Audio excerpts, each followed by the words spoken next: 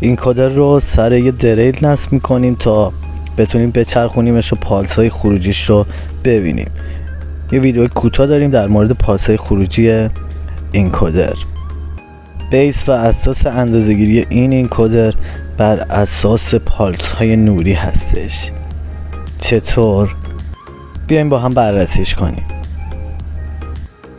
تو این اینکودر خواست سه منبع سورس و سه گیرنده سورس روبروی هم قرار گرفتن و ما بینشون یک صفحه دایره شکل قرار داره که روی سوراخ هایی وجود داره. زمانی که سوراخ از جلوی نور رد میشن یک پالس رو گیرنده میفته و وقتی شما سی تا مثلا سوراخ داشته باشید سی پالس نشون دهنده یک دور خواهد بود.